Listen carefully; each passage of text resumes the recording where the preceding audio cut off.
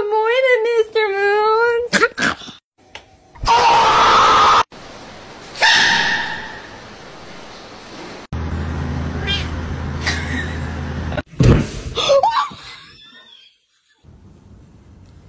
Oh shit, OG.